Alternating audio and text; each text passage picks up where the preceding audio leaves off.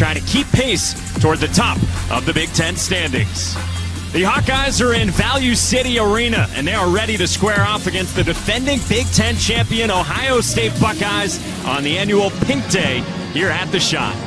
And with that, we say hello and welcome to Columbus alongside the Maryland Hall of Famer Christy Winters Scott Mike Monaco on hand, and for as humble a superstar as Megan Gustafson is, so much of the conversation all day is about her and about how to slow her down. Well, she is the most efficiently dominant post player in the country this year. She leads the country in scoring with just over 27 points per game. She's coming off of a 41 point performance in her last contest against Michigan State.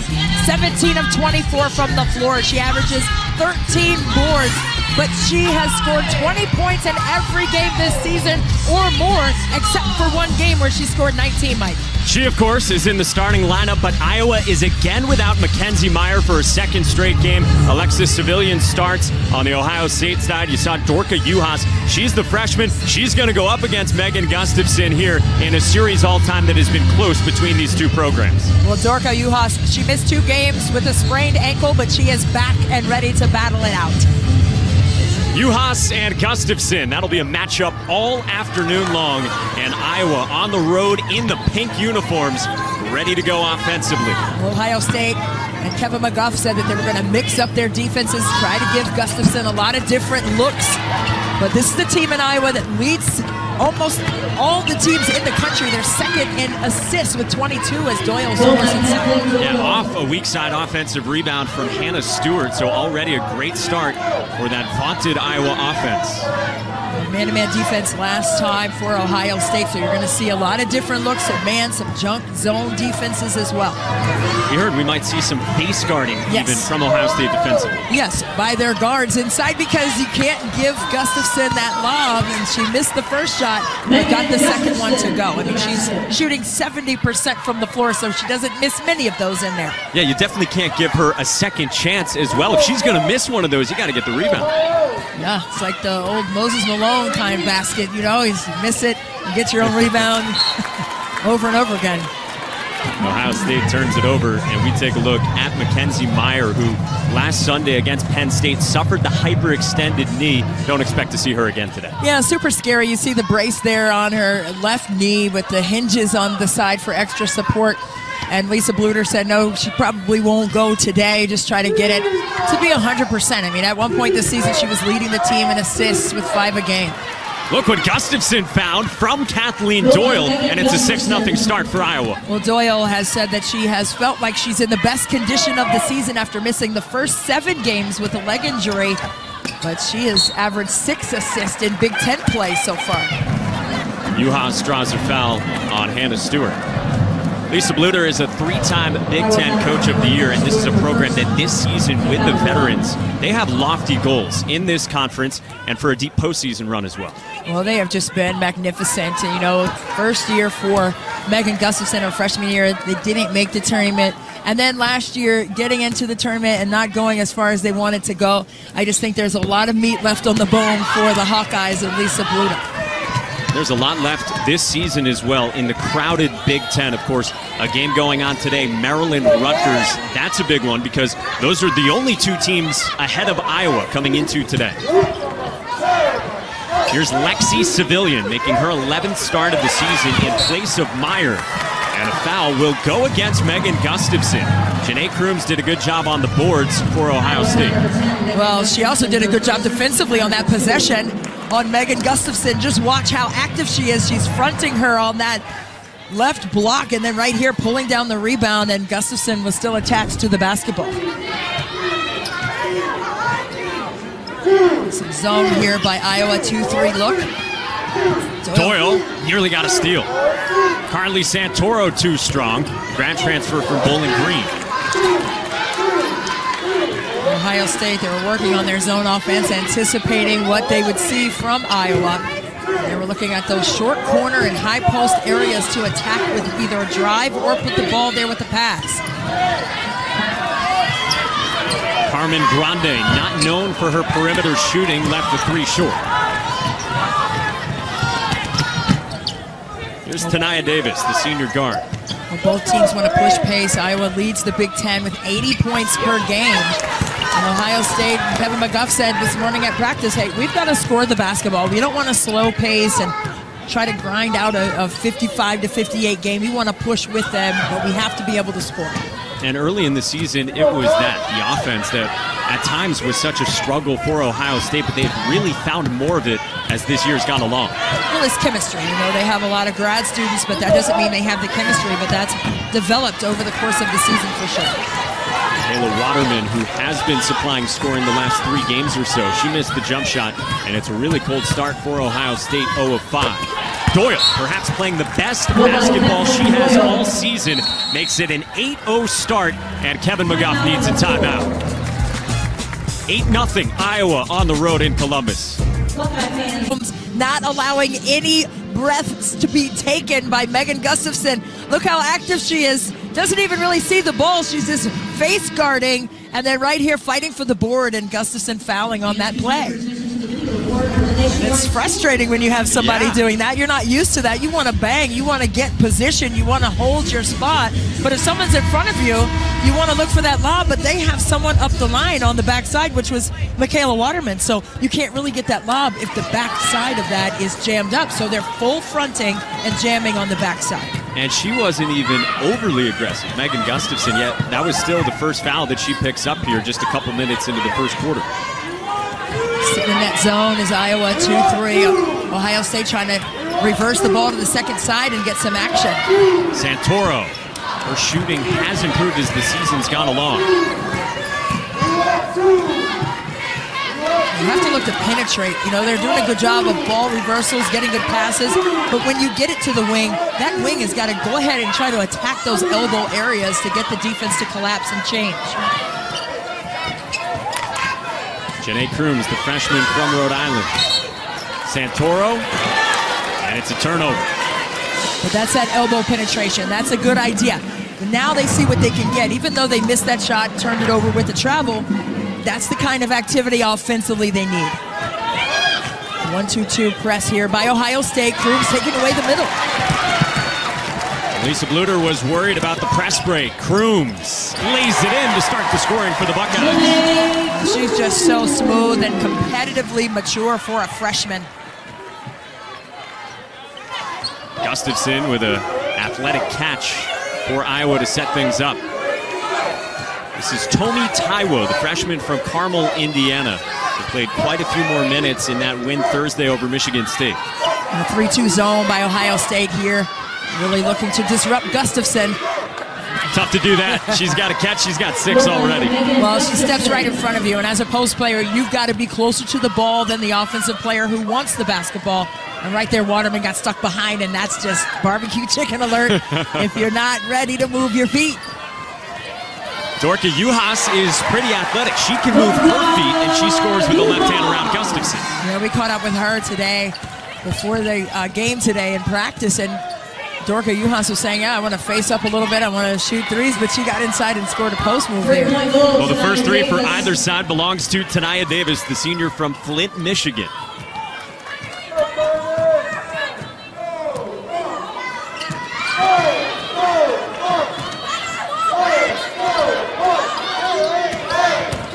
Post passing between Waterman and Juhasz, and Waterman is now 0 of 2. And she's coming off of a career high 19 points in the last contest, and that was a great find by Dorka Juhasz, being double teamed on the block and finding Waterman wide open there.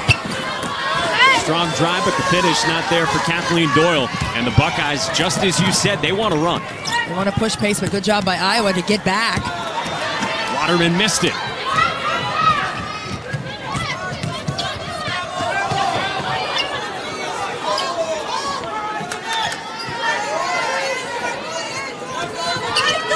Gustafson on the block. Davis fires a pass to Amanda Ollinger and draws a foul. All right, we welcome those of you who just watched Minnesota's win over Northwestern. We come to you from Value City Arena in Columbus with Christy Winter Scott Mike Monaco and Christy, all eyes on Megan Gustafson and the number 16 Iowa Hawkeyes. Gustafson, of course, the nation's leading scorer. She already has six, and Iowa's up by nine. Well, she's the most efficiently dominant post player in the country.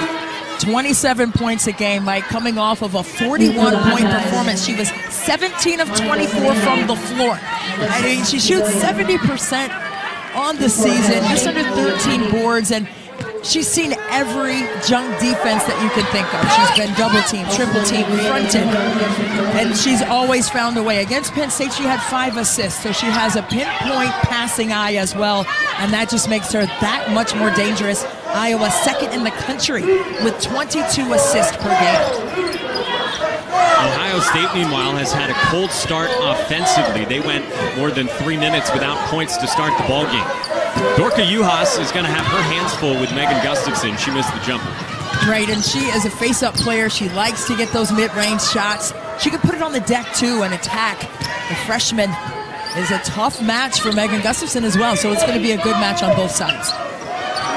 This is Tomi Taiwo, the freshman from Carmel, Indiana. She hits just her third collegiate three-pointer, and it prompts Ohio State to take a second timeout in this quarter. Well, Well, we've talked about Megan Gustafson, Christy, the six points, three rebounds already. And you talked about how teams are going to try to defend her. We're going to see a little bit of everything from Ohio State. Well, just watch here. Once she gets that front position right in front of the rim, that's a wrap. I mean, she has that baby hook down from her freshman season, studying the likes of Kareem Abdul-Jabbar and the mechanics of the baby hook. She has perfected it now as a senior. You talked about the stat line from Thursday, and you also called her the most efficiently dominant post player in the country. We see the road to the Naismith there. Where do you think she stacks up or should be in the conversation for National Player of the Year? Well, she needs to be in more conversations. I do know that for sure. Megan Gustafson is shooting 70% from the floor, and not that many players have ever done that. I don't care what position you play. If you have the game plan set to stop her and she is still able to control the game and impact the game as she does, she's got to be at the top of the list. Well, with her on the bench right now, Dorka Juhasz has consecutive buckets. And she's got a rebound. Dorka Juhasz, the freshman for Ohio State. Such an upside and a bright future for that young one. Another one of those talented freshmen for Ohio State. Janai Crooms missed the shot, and Jensen Caretti couldn't save it. Here's Kathleen Doyle, the junior guard who is playing the best she has played all season at this stage of the season. Well, she said that she has her legs under her after missing seven games earlier this season with a leg injury. But in Big Ten play, she's averaging six assists per game, so she has been extra efficient, especially when she has the likes of Megan Gustafson to pass it to. Caretti sticks the three for Ohio State. Its first make from beyond the arc. Jensen Caretti and Makayla Waterman, the two longest tenured Buckeyes for Kevin McGuff. It's good to see Caretti getting off offensively. Good to see a bucket on the inside from Monika Czinano, the freshman from Minnesota. Boy, that looked a lot like Megan Gustafson on the interior. Well, she's probably seen a lot of that from Megan in practice and decided to simulate that. Gustafson will simulate Kareem Abdul-Jabbar, and then she'll go ahead and simulate Gustafson. Yeah, it's a trickle effect. There you go. Lisa Bluder is the head coach, of course, for Iowa, her 19th season at the helm. It's a group that still has a lot to play for, of course, this season. They are right in the thick of things atop the Big Ten. Maryland got the win over Rutgers today, so now Iowa and Rutgers are both 9 and 3. Well, I asked Lisa Bluder prior to the game how it is to play with a team that is so unselfish with the basketball, and she said, We celebrate the pass. We don't say, hey, that was a good shot. We celebrate the pass. Giving up the good shot for the great shot is what Iowa has been able to do extremely well this season. So when you have that kind of atmosphere where it's a selfless environment, a selfless culture, you have success, and that's why they're ranked 16th in the country. They are second in the country in assists per game, and so far they have assists on five of their eight field goal makes in these first nine minutes. Kathleen Doyle has said, We get so excited when we see our teammates score. And Megan Gustafson said, I think we get more excited about the pass. That, oh my God, it was a good pass, rather than the shot going down. And you see it in their reactions, mm-hmm. too. That's not just speak and, and cliches. That's the way the game should be played. Shot clock winding down in the violation on Iowa. Stingy Ohio State defense. Yeah, staunch defensive effort on that possession by Ohio State. Makayla Waterman told us today in practice, hey, Iowa averages 80 points a game to lead the Big Ten Conference in scoring. What are you going to do to disrupt that? And she said, we pride ourselves on defense. And she is a leader on this team. And she has implored her teammates to buckle down and be ready to compete against a team like Iowa.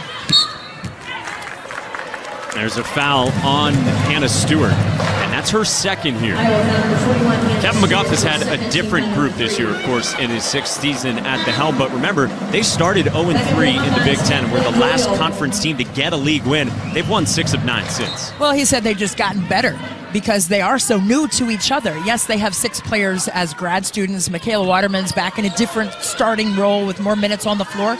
So everyone has really gained that chemistry over the course of the season, and it's really paying off for them well. They're winners of three of their last four games. Double dribble called on Lexi Sevillian, and it's back to back turnovers on each side. Yeah, Sevillian picked it up, put it right back down. I think she thought the passing lane closed down on her tried to save the possession and ended up losing it. Iowa sitting in that 2-3 zone, trying to clog up things for Ohio State and make it difficult to score on the outside, which they haven't really shot the ball that well from the outside. Ohio State's got a chance to get it down to single digits here at the end of the first quarter. Six seconds, Caretti, a deep one off the mark. Here's Tania Davis. Good if it goes. Wide left to end the first 10 minutes here in Columbus, Ohio. Megan Gustafson off to a fast start. Six points, four rebounds, Christy. Well, it's no mystery. Megan Gustafson inside, 70% shooter. That's a bucket to themselves right there. And there are a lot of awesome pink games and traditions around the country, not just in this conference. That's pretty darn neat. Well, it's bigger than basketball. And that's what I love about it. I mean, sports, we love playing them, we love watching them.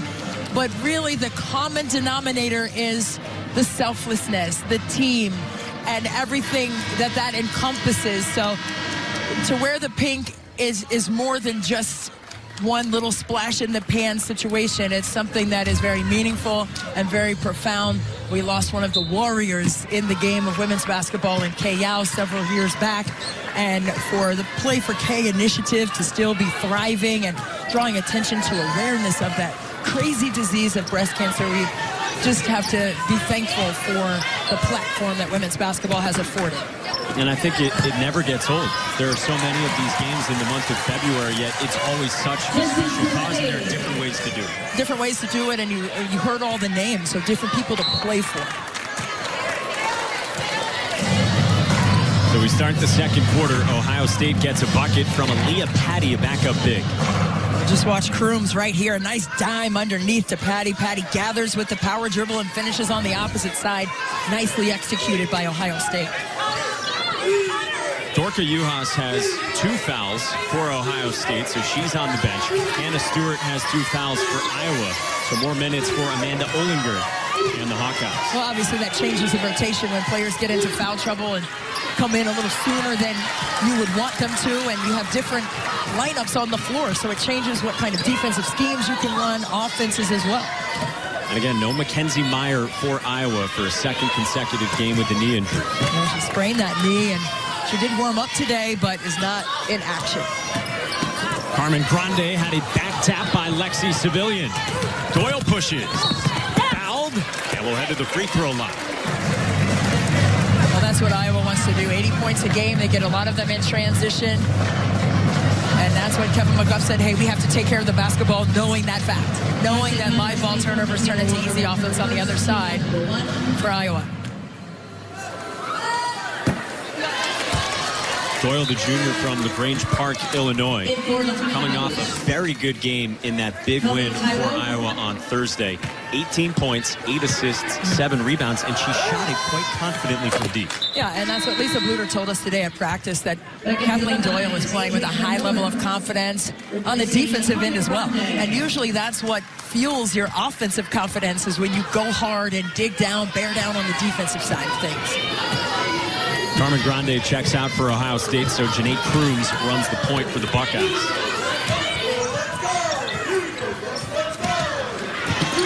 Patty couldn't finish through the contact inside.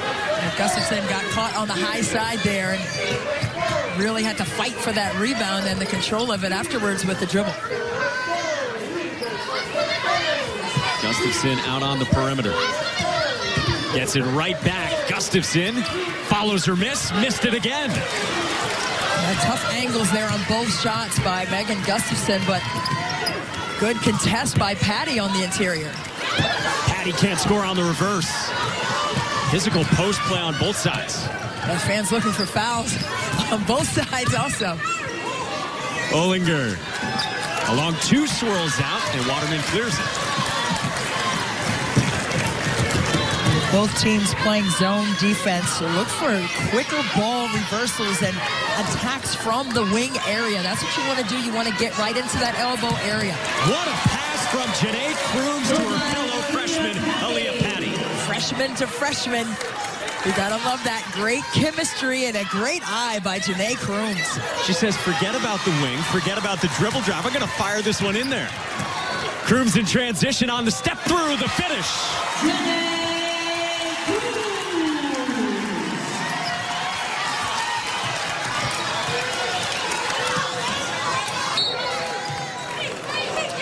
Foul on the perimeter goes on Ohio State.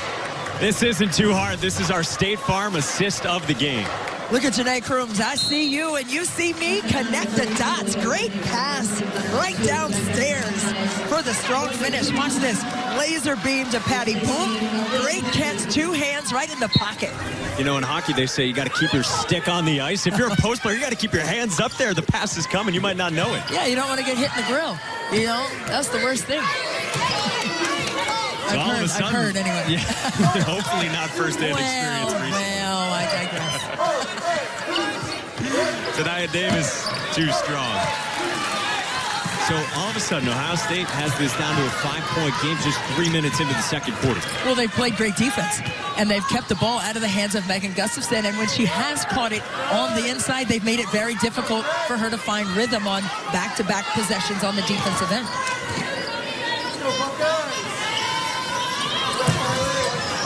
Adreana Miller, one of the grad transfers for Ohio State, doesn't get the roll. It's a good strong take, though. Get into the teeth of that zone and really force them to change what it looks like. Davis too firm. A weak side offensive rebound by Amanda Ollinger. She played good minutes off the bench as part of what was a makeshift rotation for Iowa Thursday. Juhasz and Gustafson were battling on that ball side block. Gustafson did a good job of not letting that pass get inside. Doyle rises. She hit four threes Thursday, the loose ball to Crooms. Waterman mixing it up in there. Crooms, another good find to Juhasz.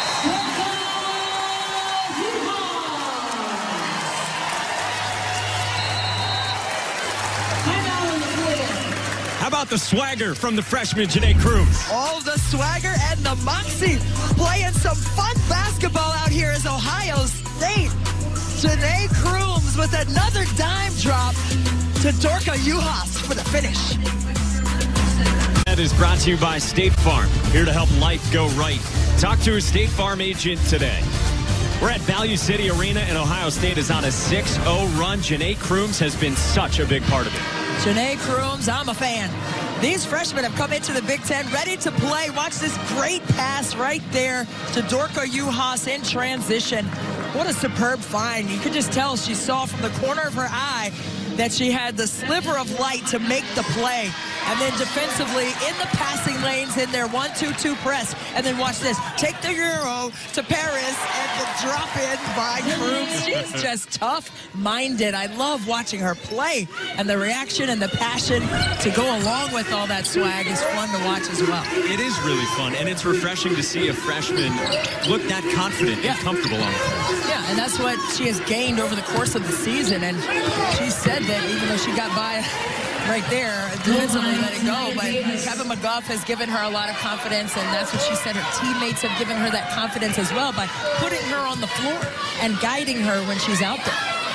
Yeah, Kevin McGuff framed it to us today that she can feel herself getting better, yes. and that motivates her. And that's what coaches talk about when they talk about confidence. Absolutely. There's a deep three from Adreana Miller, the grad transfer from LaSalle. It's a nice swing, swing of the basketball by Ohio State. Got back into the game because of their defense, and now their offense has been clicking with a good rhythm their last several offensive possessions. Hannah Stewart is playing with two fouls for Iowa. She goes excellently with the high-low to Gustafson. Well, you got to love the high-low pass, post to post. Post players know one another. They know the angles. They know where to put the basketball. And a great look there by Stewart to Gustafson downside. Eight and six for Megan Gustafson. With the double-double today will tie Jantel Lavender for the Big Ten record. That was a block by Gustafson on Carly Santoro. And Janai Crooms strokes the three. Crooms once again coming through for Ohio State. Heck of a stat line for Crooms. Taiwo too strong. Gustafson the rebound. Doyle shuffled the feet. Turnover number five by Iowa. American Hawkeyes, Alexis Sevillian. Back in for the Buckeyes, Aaliyah Patty. Well, Megan Gustafson right here, you just see her footwork. She had the initial baseline seal, but when the ball went high post, she spun quickly and got that lob availability with her seal on the other side. Her Hawkeyes are up by one with less than four to go until halftime. There's Miller driving from the wing like you've talked about, but she missed it at the rim. That Gustafson disrupted that, even though she didn't block it like she did on the last defensive possession, but she got in the way. Second foul on the interior on Aaliyah Patty fighting for post position with Hannah Stewart. Well, you've got to stay loose. That's the key as a post defender. You don't want to give the offensive player all the body contact. And they want to seal you and get you deeply buried into the paint. Stewart gets the roll. Her first points. She has had such a great senior season. Oh, she has. She has really been magnificent in terms of playing right alongside a player like Megan Gustafson, a great complementary player to her in terms of her offensive abilities. Crooms threaded that pass. Waterman one more find, and it's um, Patty on the receiving end. We were talking about passing angles post to post. That was a tough bounce pass by Waterman there. We talked a lot about Iowa celebrating the assist. That's what they call it. Ohio State's got a lot of celebrating to do. Yeah, great connections that they're making because of their great spacing against the zone. Shoveled off Patty from Crooms. First lead for the Buckeyes.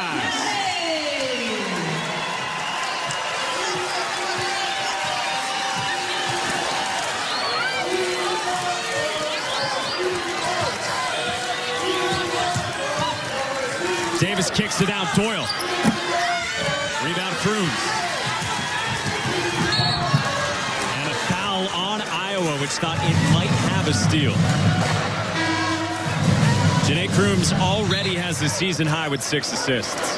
Well, Ohio State right now, they have eight assists on the afternoon because of their fantastic spacing against the zone. A superb bounce pass there by Waterman inside to Patty. So when you have that great spacing, Mike, what that does, it spreads the defense out. You have to honor the outside. You have to take away the drive. So when you rotate the defense, that's when you get the pockets of available players right inside the painted area. Another deep one for Miller, way off the mark. Yeah, and Lisa Bluder was somewhat concerned with Ohio State and how they match up against Iowa because they can all shoot and they can spread you out and drive too. Right, and that's the thing. You know, she said that Ohio State was like an international style team. They can all face, all five of them can face up and score, whether it be off the bounce or from a pass and shoot. So it makes it tough to match up man to man, which is why we've seen a lot of zone from Iowa early. Doyle feeds the post this time, and the foul is on the floor. And that is three fouls now on Aaliyah Patty. So it means that Dorka Juhasz has to get off the bench, and she has two fouls.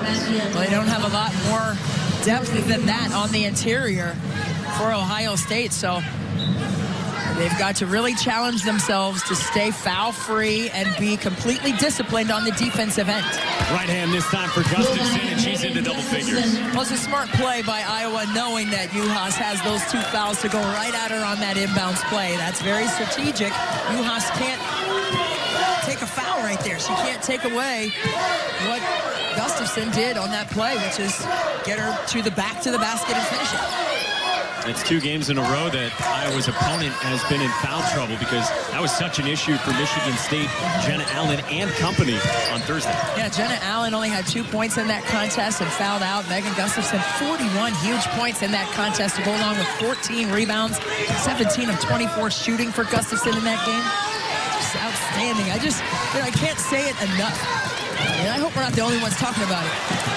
Crooms was trying to hop to set that up. Doyle swiped it and lays it in. Plus a foul. No. Ah, yes. Let them know about it. I, I love the passion, and it's not a taunting situation. It's a passion situation. Right here. Crooms trying to go behind the back or something like that. And Doyle said, no, we're going to go the other way, and I'm going to take this contact and finish it. And then afterwards, you see the fire and the love of the game coming out. She just exudes passion, and I just love that. If efficiency is the word of choice for Megan Gustafson, yes. I think moxie is the word we always hear for Kathleen Doyle. Oh, no question about it. I mean, she's playing with a high level of confidence, and she's just been so impactful, especially on the offensive end. I mean, we saw the steal and score right there, but the way that she creates offense for her team. I mean, you already discussed how they're second in the country with 22 assists a game. She's the main reason for that. She runs the team, and that's what Lisa Bluder has said as well. And she's a great conductor of this offense. Crooms misses the jumper. And hey, by the way, it was the second foul on Waterman. So Waterman and Juhasz with two, Patty with three. They're sticking with that 3-2 zone as well to try to counter those foul issues now that they have on the interior. Iowa has led by as many as 13 in this first half. Ohio State came back to grab the lead. Four second difference between game and shot clocks. Waterman battling Gustafson on the inside.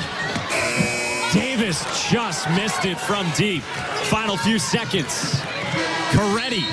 And no shot for the Buckeyes, who trailed by four headed to halftime.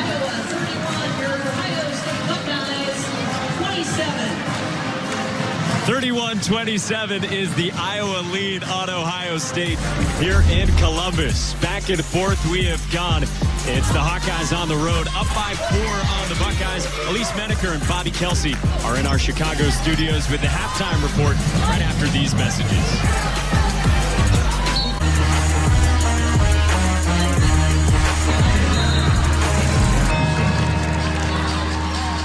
We had all eyes on Megan Gustafson, the star here in Columbus. Her Hawkeyes led by as many as 13. She has 10, but it's a four-point game as we gear up for the second half. And welcome you back, Christy Winters, Scott, Mike Monaco here. How did Ohio State get back into this? Well, they got back into it because they buckled down on the defensive end. They got the stops necessary. They got live ball turnovers and pushed tempo for easy offensive opportunities. But Janai Crooms really got things cooking offensively. Six assists for the freshman, just one turnover. Yeah, and at the outset, it was Gustafson and the Hawkeyes who built a big lead, as you might expect.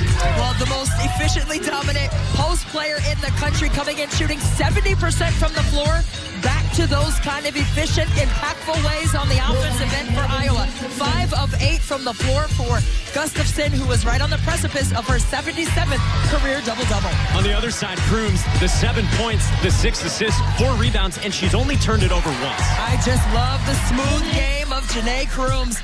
Six assists, just one turnover, three of five shooting from the floor, but just look at the precision of which she passes the ball. Just great connectivity with her teammates. They've been the Sunday stars so far. Gustafson, one rebound away from her 77th career double-double, which will tie the Big Ten record set by someone who played a lot here in Jantel Lavender. And then Crooms on the other side has Ohio State within four. Yeah, Jantel Lavender, she had 19 Player of the Week awards in the Big Ten, and Gustafson just cracked that code, and now she has broken that record with 20 Player of the Week awards in her career. I'm going to give you a spoiler, too. Regardless of what happens today, you might be able to pencil her in on Monday, too. Hey, we need a Sharpie. I mean, it's just every single week, just the consistency is most impressive by Megan Gustafson.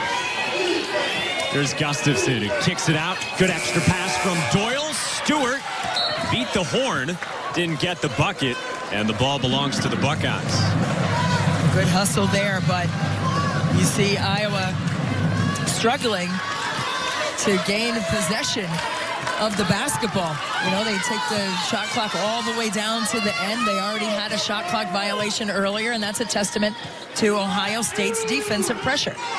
Ohio State has held Iowa to 39% shooting from the floor. An Iowa team that is second in the country in field goal percentage behind only Oregon at better than 52%. Well, a lot of those are great interior passes to Gustafson, who has not had as many touches as she normally has. Five of eight is very pedestrian-like in terms of touches for Gustafson inside. If you're just tuning in, we told you that Ohio State would try a variety of things defensively as Waterman gets the kick.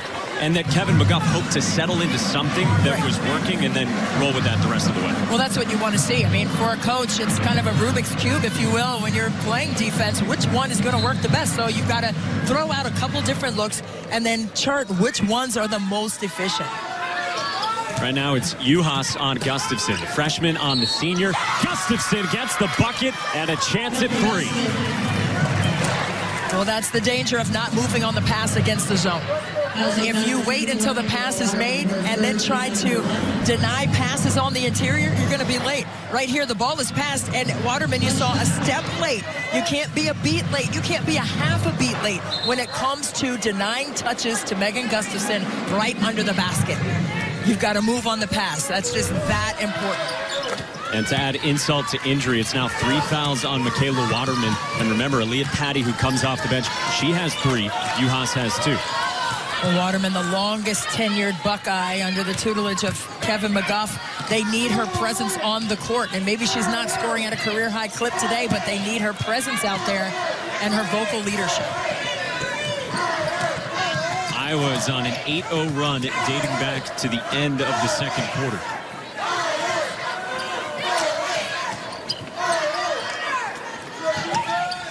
Tania Davis with a post feed that got deflected. Sevillian, a bit too ambitious looking for Gustafson. Well, Gustafson had nowhere to go on that catch. She had three people surrounding her defensively on the catch right here. She gets it, and then look, nowhere to go. They had her feet trapped there on the block, and she had to kick it back out. She's boxed in. There's so much traffic around her, and it doesn't help Iowa's case that the Hawkeyes haven't shot it well from deep, just 2 of 12. Right, it makes it a little tougher. Juhasz ran into a lot of tall bodies on the block. Sevillian feeds Stewart with the left hand. Great use of the body by Stewart on the inside. Just rolling off the body of the defender and finishing on the opposite side of the hoop. It's a 5-0 run for Iowa to start the third quarter, and the Iowa lead swells. Well, watch this. Hannah Stewart right here rolling and finishing. Most Big Ten Player of the Week honors in conference history. She's got a double-double today as well. Now she has tied the Big Ten record, set by Jantel Lavender for most double-doubles. Yeah, 77 double doubles now for Megan Gustafson. But wow, Jantel Lavender, what a strong talent she was here for the Buckeyes. Currently playing in the WNBA for the Los Angeles Sparks, was sixth player of the year a couple seasons back.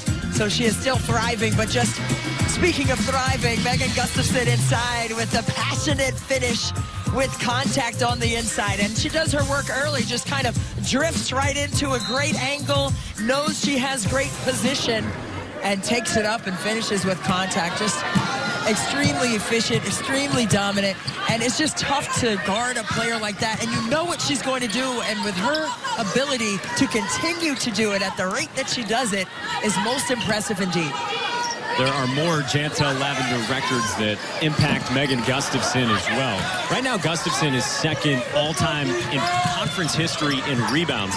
Lavender's first in a long postseason run. Who knows? Gustafson might have a chance to catch Jantel Lavender. Right, and coming into this game, Gustafson had 2,429 points, the most for men or women, and two more for her right there, most for men and women in Iowa history, passing Ally Disterhoft and Roy Marble. But the hands inside, she had her paws ready for the basketball on that one.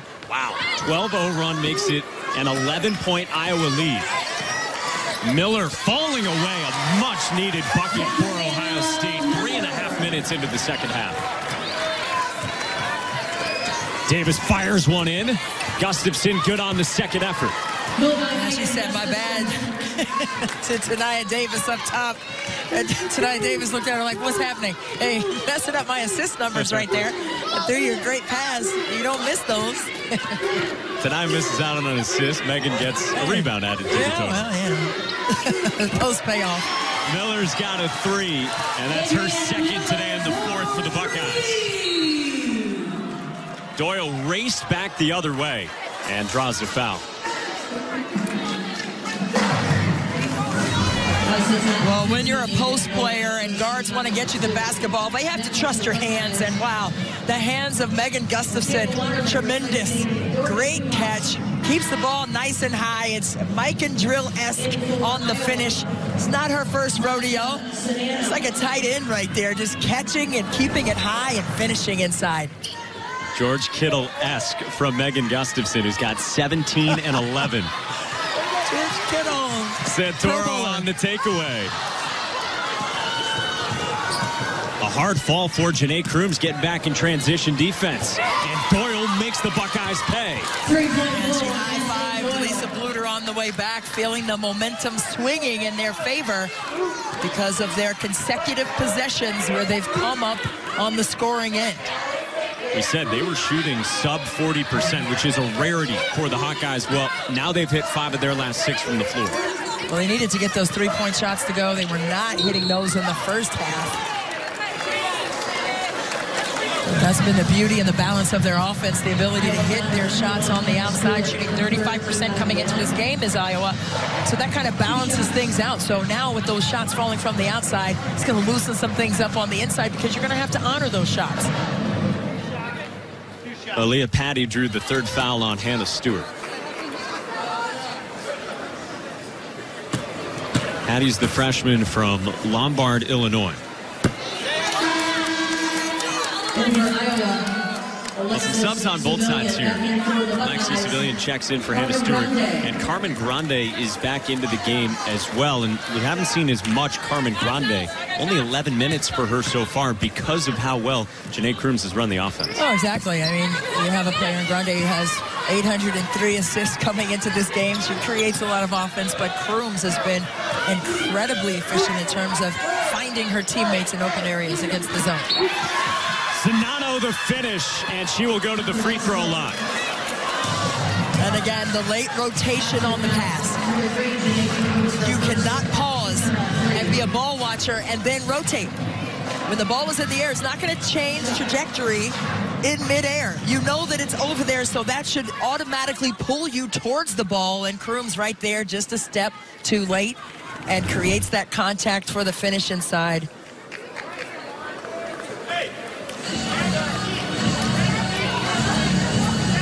Was just the first foul on Janai Crooms, and it plants Czinano at the free throw line.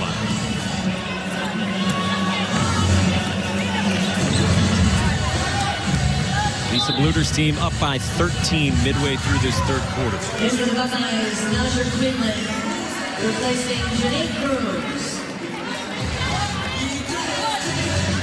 Czinano's only 7 of 15 at the free throw line so far in her collegiate career.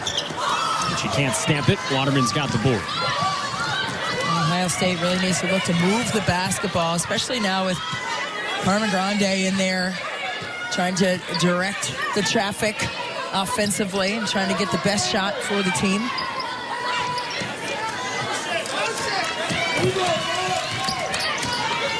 Freshmen Juhasz and Crooms are both on the bench for Ohio State. And it's the veteran Waterman who draws the foul on Czinano.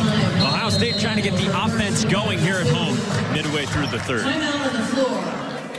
First, the Gophers off their big overtime win here on BTN. They take on the Boilermakers. Then the number 10 Terps off a win today against Rutgers host the Huskers. Big Ten women's basketball Thursday right here on BTN and the Fox Sports app.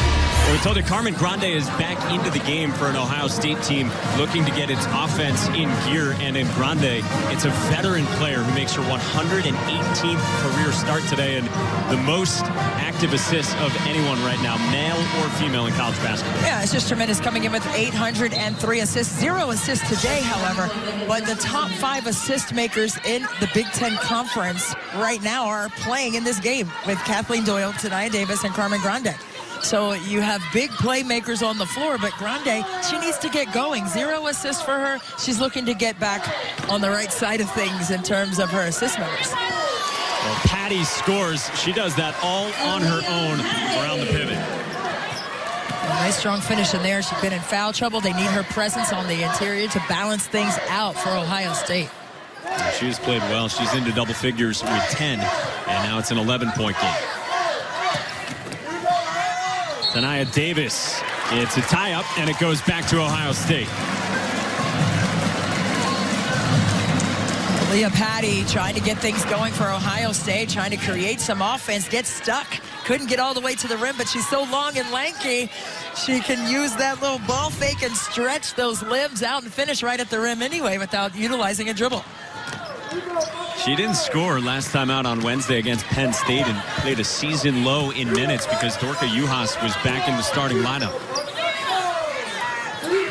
Patty kicks it out to Naja Queenlan. Too firm.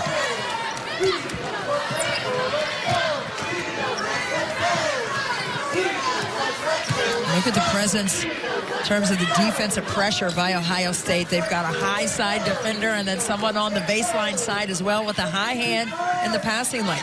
Tough to get an entry pass there. Sevillian with another risky post feed, and Waterman got a piece of it. And let's see who the foul's on. I was just discussing the defensive attention that Gustafson has earned, but right here, Waterman not loose enough. That's her fourth foul, but right here trying to get around. It looked like Gustafson was the one creating the contact there, not Waterman. She was trying to stay loose. And then Gustafson gets the bucket on the inbound to make matters worse for Ohio State. Yeah, nevertheless, Makayla Waterman frustrated right now, sitting on the bench with those four fouls. Patty's got three fouls. Juhasz with two. Patty can't connect from deep, and it goes back to the Hawkeyes. We had fun chatting with Makayla Waterman today, and she wants to be a coach, and she has some coaching in her bloodlines. And we asked her, if you were the head coach of your team today, how would you defend against Megan Gustafson? And she said, it's the versatility that stands out with Gustafson. You've got to change it up defensively. Yeah, you got to show her different looks, bigs and smalls on her, switch her out, face guard. And that's what we've seen so far. Makayla Waterman's grandfather, the first African-American coach in the Big Ten. Juhasz has the rebound for Ohio State. Doyle nearly picked off the pass. Miller on the reverse. Earns a trip to the free throw line. Nobody stopped the baseline drive, and that's a basketball 101 defensive error.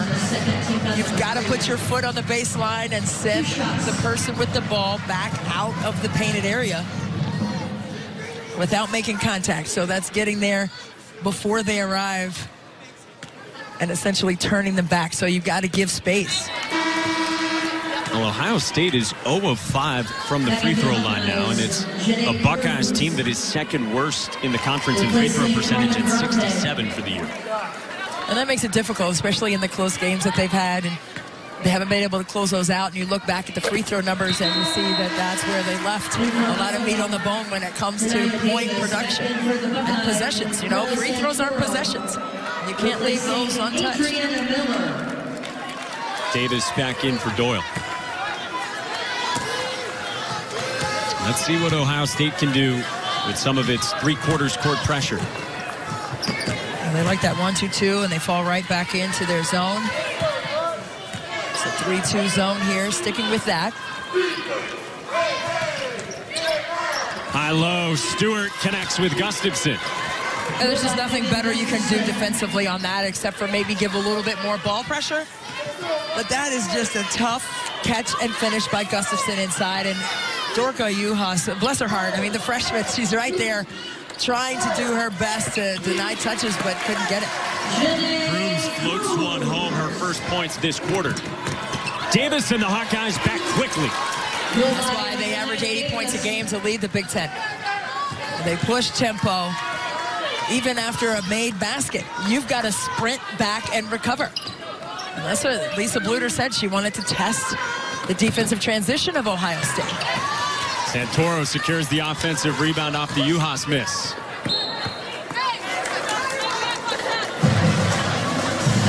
I mean, you're in a 3-2 zone. You're on an island with the top scorer in the country. And it's just automatic for Megan Gustafson inside. Another 20-point game for Gustafson. Queenland off the bounce. Couldn't wrap it around successfully to Juhasz. Well, that's just a tough place to try to make a play. There's no space there, so you can't force space to occur. If it's not there, it's not there. You have to make the next best pass.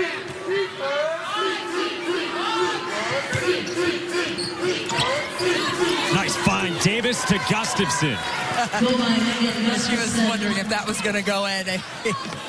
Davis was looking at her like, there you go, because last time I threw one like that in there, it didn't go in initially. Queenland, no. Stewart the board.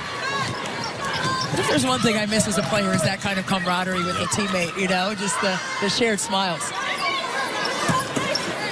Gustafson with a right hand this time. She is cooking.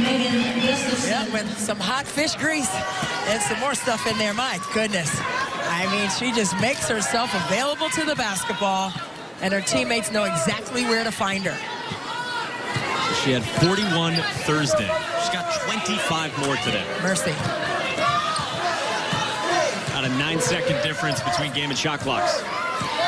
Santoro is scoreless. Shot clock off. Davis dives for it. Gets it to Stewart. Sevillian rises and hits. How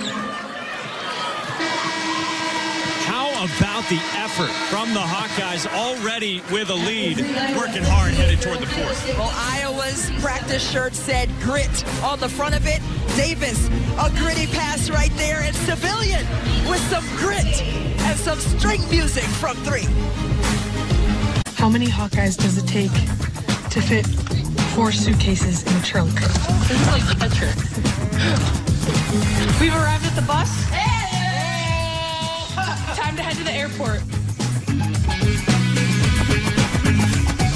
This is where you build it, right? Absolutely. On the road trips, it's the best time of the year with your teammates sharing the travel stories and the Soul Train lines on the bus and everything like that. It's it's awesome stuff. And those are the memories that you make and that you never forget. See, there they go.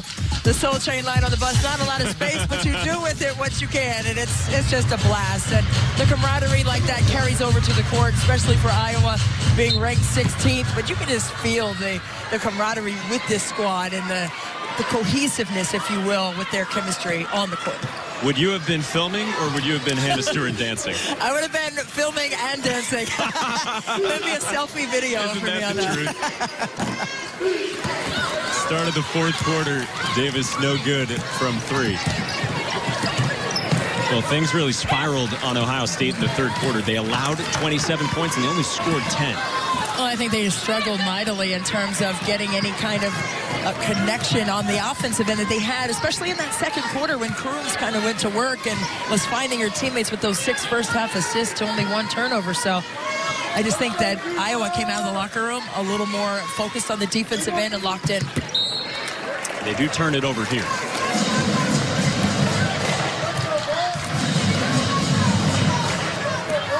Told you that Maryland knocked off Rutgers earlier today. So Maryland is now 11 and 2 in the conference. Rutgers is 9 and 3. That's where Iowa's record is coming into today. And the only meeting between Iowa and Maryland is coming down the pike, not too far from now, one week from today. Right, and that Maryland Rutgers game was a rematch. Rutgers uh, upset Maryland earlier in the season, and then Iowa snapped Rutgers' 10-game win streak earlier this season too. So it's been a topsy-turvy Big Ten conference this season, and it's really been a lot of fun to see how things have evolved. And it's going to be an exciting tournament, to say the least, in Indianapolis.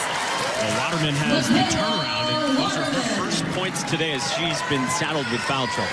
Yeah, she had 18 points a couple of games ago and then had two, and then another career high with 19 in the last contest. So a little inconsistency from Waterman on the offensive end. Not for lack of trying, but like you said, when you have four fouls in the third quarter, it impacts how you play the game.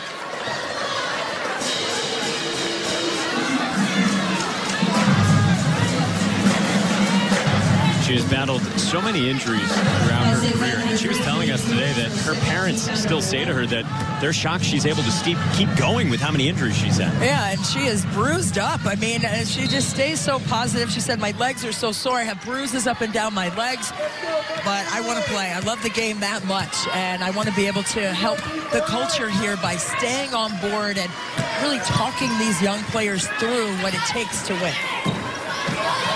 Stewart, an offensive rebound. And a fresh 30 for Iowa.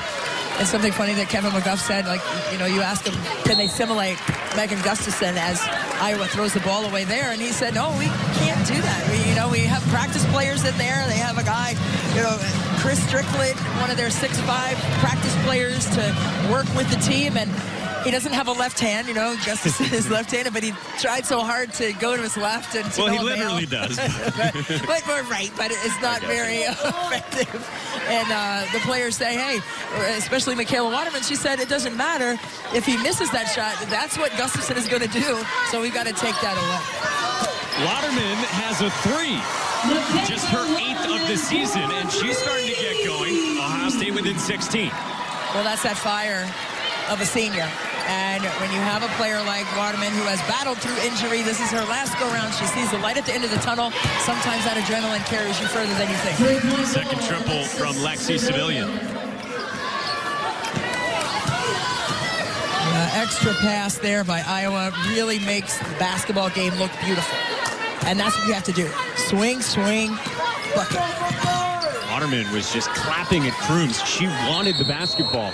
Missed the shot. Tie up. Stays at this end. How about this perimeter passing we've seen from this, This- Iowa team? Well, this is why Waterman was clapping for the ball because she knows how important the extra pass is. And right here on the reversal, you get a nice look by Sevillian from three against the zone. And that's why Iowa sits at the top of the list in the Big Ten for assist to turnover ratio. They know where to put the basketball. They know how to move the basketball and why to put the ball where. A lot of coaches look at the percentage of field goal makes on which there was an assist, and in that category, Iowa fourth in the country. Yeah, I mean, that's just insanely good. And that just speaks volumes to the culture that Lisa Bluder has created for her team and the buy-in by the players. It doesn't matter if the coach wants that. The players have to execute it. That's some angle for Gustafson in very deep, nearly under the hoop.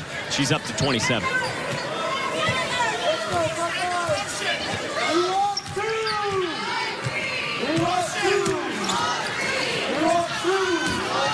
Waterman drives and kicks. Gustafson with her 15th rebound. But you can't get it all back at once, and Ohio State can't settle for just the outside shot. They have to do what they did in that first half, which is penetrate to the elbow area, collapse the zone, and hit the backside. Nice dump off to Doyle. Waterman commits the foul, and that'll end her day with 5.59 left.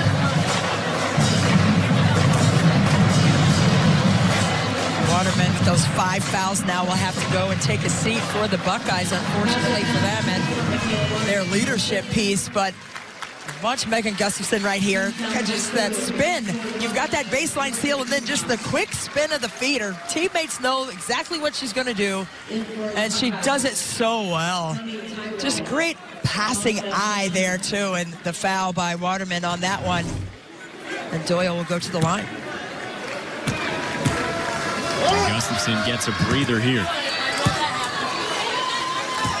When you look at Iowa's assist numbers, 19 assists on 27 made shots, and Waterman, an invaluable piece for Kevin McGuff on the court.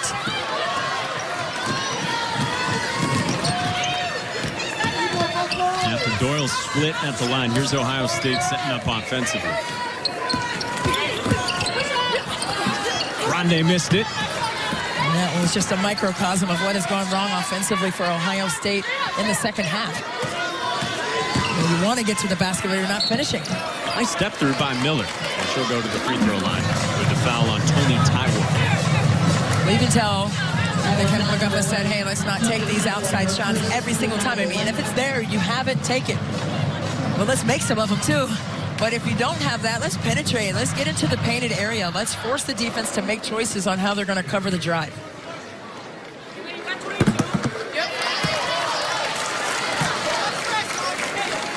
Kevin McGuff, yeah, he was saying to us, Christy, that we've got to score enough to keep pace Right. with Iowa. And obviously, the defense is important.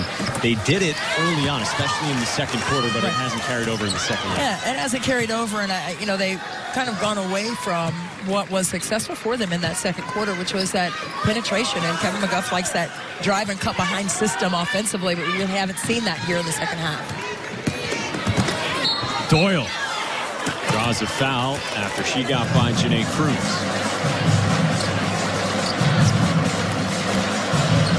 Well, here are the standings in the Big Ten. Updated. Maryland had the big win over Rutgers, which falls back to 9 and 3. Iowa gets the win. We've had a lot of movement as well. Michigan State will play tomorrow, and there's that big group around 7 and 6 right in that middle. Maybe those top three teams separating themselves a little bit.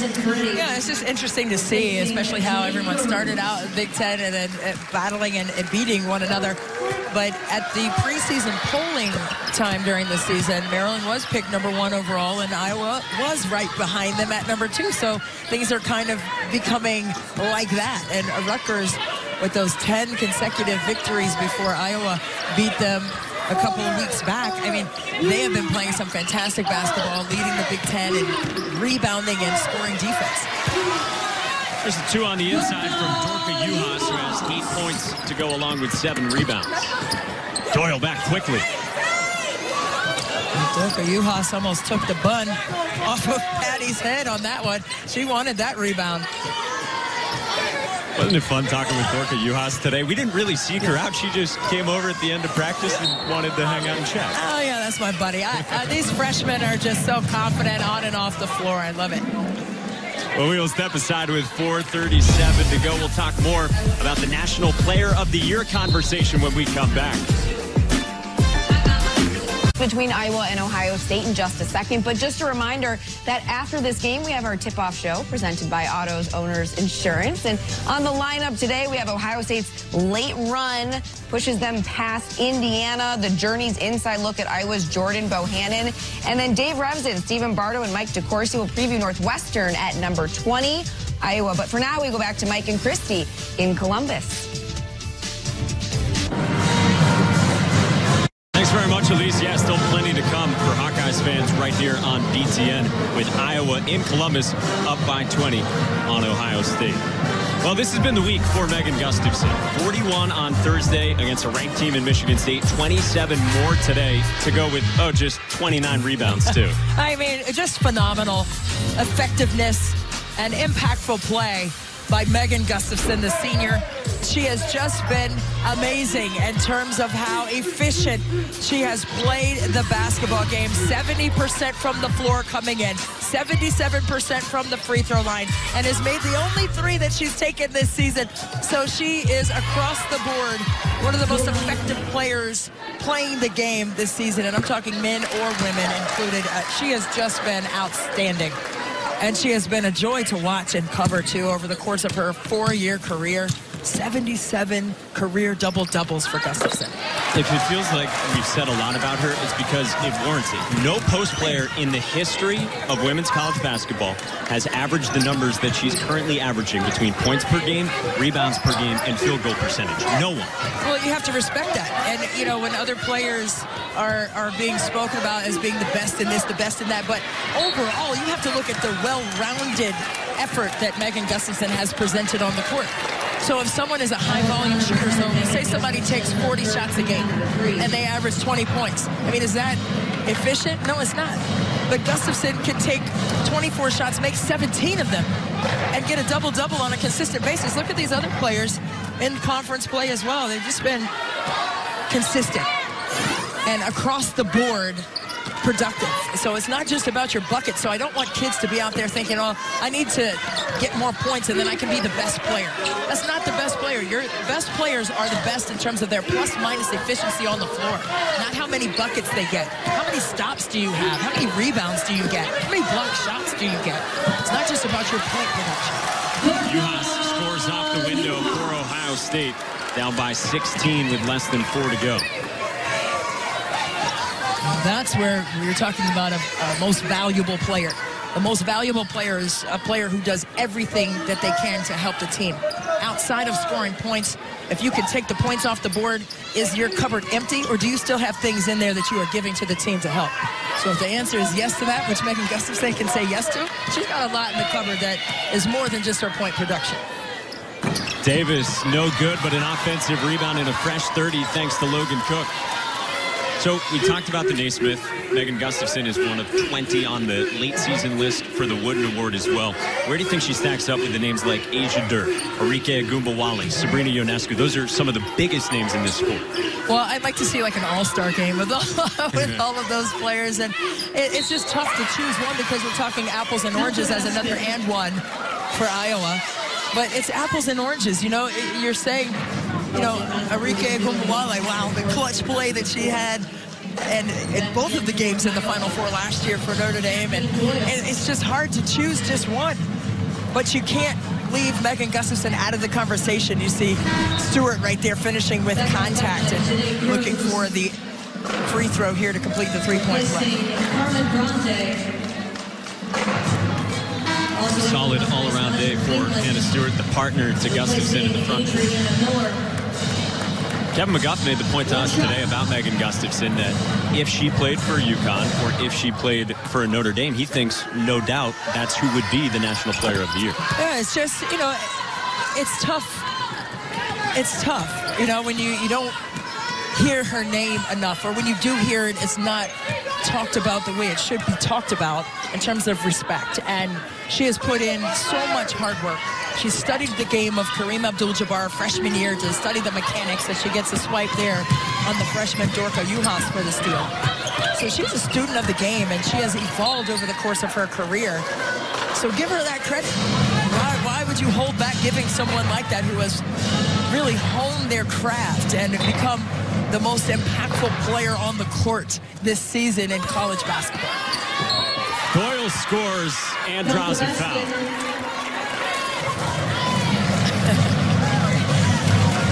Look tonight, Davis giving the, the strong woman two-arm strength pose after this play. A little curl action off the double screen at the elbow, and then contact on the finish. I like that play design, huh? Gustafson follows up Doyle's miss. Oh, you got to put a body on somebody and maintain the contact on the offensive boards. That Kevin McGuff just folds his arms after that because you have inside position on the free throw line. You can't give that up.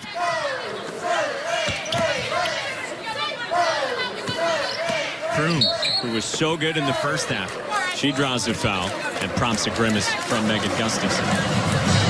Well, Gustafson and the Hawkeyes will face off with Illinois Thursday, and the Illini today got a win at home against Wisconsin. And then a week from today, the big one against Maryland. Right now, the number 10 team in the country with 11 conference wins now after today's victory. Yeah, and they've they've played extremely well during the Big Ten conference play. They had a couple of losses there to Rutgers and Michigan State, but I tell you what, they're a young team. Kaila Charles doing everything she can to lead that squad in so many different statistical categories. Taylor Mikesell nailing the most threes, not just for freshmen in the Big Ten Conference, but overall in the league. And that's just so impressive. And Shakira Austin on the interior, just having a block party every game the defensive awareness of that freshman has been impressive. So fun to watch Maryland play. Yeah, that's something that Brenda Frese has talked about with us throughout the season. That team is going to keep ascending because there is youth. They're coming together when you have freshmen like Austin and Mikesell playing so many minutes. They're going to keep getting better as the year goes. Right. You have a glue player in Stephanie Jones who's in there doing the dirty work, getting the boards, and you look at the stat line, and she has a double-double. So the balance of Maryland is also something that's been impressive to see as well. well the shot clock is winding down here for Ohio State. Patty off the shot fake. Blocked by Stewart, but foul is called on Hannah Stewart, her fourth. Well, we talked about Rutgers. That's where Ohio State goes to next on Thursday for Kevin McGuff's team. And that's one of two matchups with the Scarlet Knights still looming on the schedule for the Buckeyes. Yeah, and they know they're going to have a defensive battle against a team like Rutgers. C. Vivian Stringer, over a thousand wins now in her illustrious career that spans over four decades in the women's game. Coached three different squads to go to the Final Four. And it's just been fun to, to follow along her career and be inspired by everything that she's done for the game as well. You might have heard Elise and Bobbie talking about it at halftime that the defense always gets a lot of attention for Rutgers. The offense and the three-point shooting has been a lot better this season, but right now they're they're trying to find some of that offensive flow. Yeah, they're trying to find some offensive flow, and you know, Caitlin Jenkins now going to miss some time for them and definitely suspended. So uh, that's going to change what they do in terms of their bench rotation in the post as well.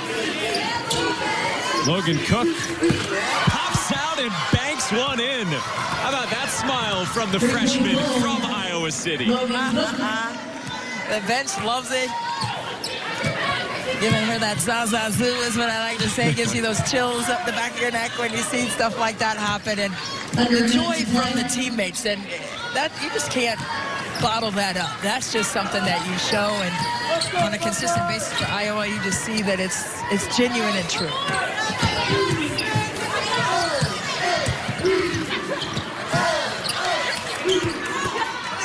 Czinano's got the rebound. Yeah, for Cook, that was just her fourth collegiate make from anywhere on the floor, and they've all been from three-point range. Yeah, lots of love from the teammates on that. There you go. You got the kick out right here. And then the bucket goes off the glass, and she called it. That's what she said to her teammates running back. Hey, I called that. I called that right from the front, too. That's not easy.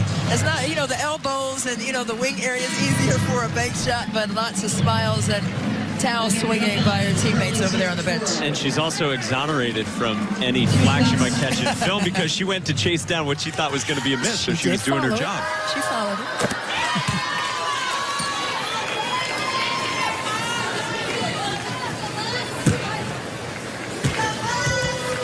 Freshmen getting time here for Iowa as the Hawkeyes have pulled away in the second half. Yeah, that third quarter really gave them the separation that they needed, and I think, like again, their defense for Iowa, I think they really picked it up in that regard. They quieted Crooms in terms of her penetration and didn't allow Ohio State to get behind that zone on that back line and committing the center.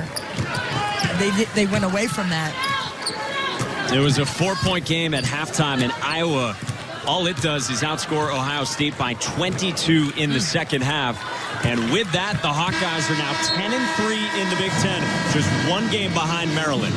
A nice, strong finish by Iowa in the second half. Ohio State still working to get better every game, is what Kevin McGuff has said. A lot of work to do in terms of staying consistent with that notion, but Iowa on the road right now, really making some noise. A casual 70-point week for Megan Gustafson. 41 Thursday, 29 today to go along with 16 rebounds as she ties the Big Ten conference record for double-doubles with her 77, equaling her with Jantel Lavender.